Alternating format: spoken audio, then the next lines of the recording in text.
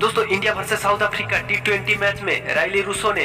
48 ball में 100 run बनाया 208 strike rate से 8 छक्के 7 चौक मदद से